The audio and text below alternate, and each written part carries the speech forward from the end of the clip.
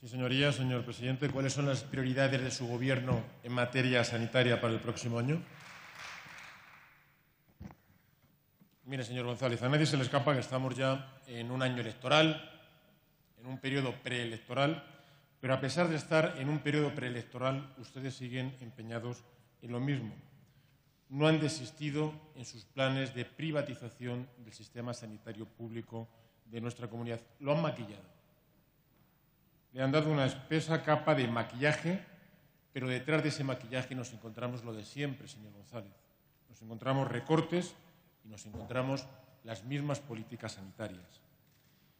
Bajo el maquillaje, y se lo dije hace una semana en este mismo pleno, usted no me contestó a lo que yo le decía en esta intervención, nos encontramos que para el año que viene el presupuesto de sanidad tiene un recorte de prácticamente 70 millones de euros con respecto a lo que se gastó efectivamente el año pasado.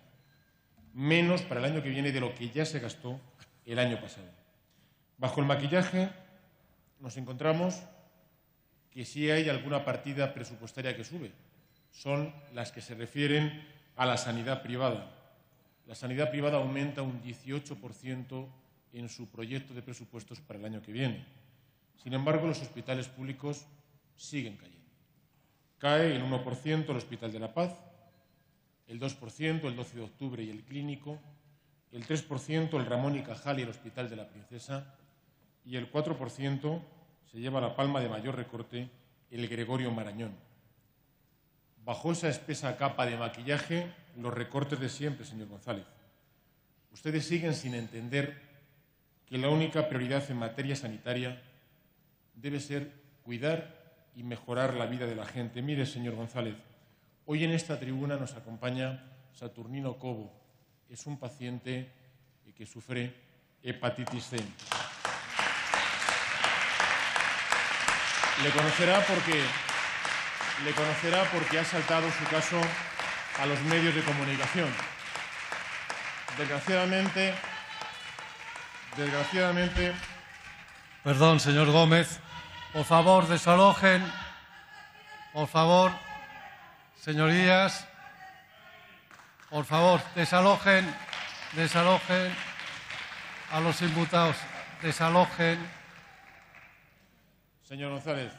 Por, por favor, este señor, Gómez, adelante. La mujer de Saturnino Cobo, la señora Belén, tuvo que ponerse en huelga de hambre para que su marido recibiese el tratamiento para la hepatitis C. Por favor, por favor, Señor desalojan a los invitados. Continúe, señor Gómez. Señor González, entienda, entienda a esta gente, entienda su indignación y entienda su comportamiento de hoy. Su vida pendía de un hilo. Solamente después de una huelga de hambre le ha asegurado la autoridad sanitaria que tendrá el tratamiento necesario para que no pierda la vida. Esa es la indignación de la gente, señor González. Mire, ¿cómo va a salvar su vida? Después de una huelga de hambre. Pero eso solamente le va a ocurrir al 1% de los pacientes con hepatitis C. ¿Sabe cuál es la razón?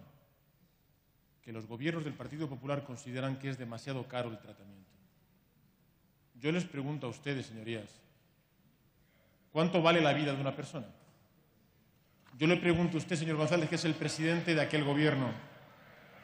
¿De verdad, señor González, el gobierno de la comunidad autónoma más rica de España no puede hacer nada para salvar la vida de esta gente?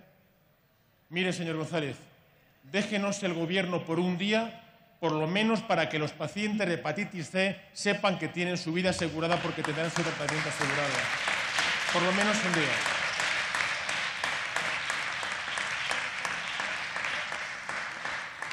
Entiendan que están ahí para mejorar la vida de la gente, para cuidar y proteger la salud de la gente. Ayer mismo presentábamos los socialistas un programa de cobertura sanitaria bucodental para los niños de 7 a 15 años en nuestra comunidad. Es algo que no es novedoso en nuestro país. El doctor Freire, como máximo responsable del gobierno vasco en su momento, a través de la- de la Osakidecha puso en marcha un plan parecido. Desgraciadamente, muchos años después, todavía en nuestra comunidad no está puesto en marcha. Lo está en ocho comunidades de nuestro país. Un plan que asegura un dentista de cabecera elegido libremente por los padres para todos los niños madrileños de 7 a 16 años. Un plan que se ha hecho trabajando de la mano de los profesionales.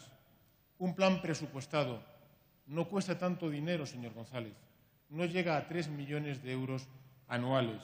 Un plan que puede mejorar sustantivamente la salud dental y, por lo tanto, la salud de nuestros niños y, por lo tanto, de la sociedad del mañana en nuestra comunidad. Mire, señor González, ese plan no es mío ni es nuestro. Yo se lo ofrezco para que sea el plan de todos.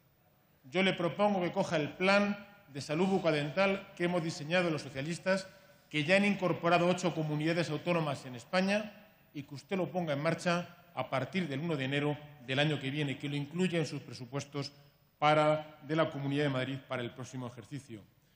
Le aseguro, señor González, que es un ofrecimiento sincero, porque usted y yo estamos aquí para defender los intereses de los madrileños, para mejorar la vida de los madrileños. Y mejorar la vida de los madrileños es poner en marcha programas como el que ayer presentamos los socialistas. Muchas gracias, señoría. Muchas gracias.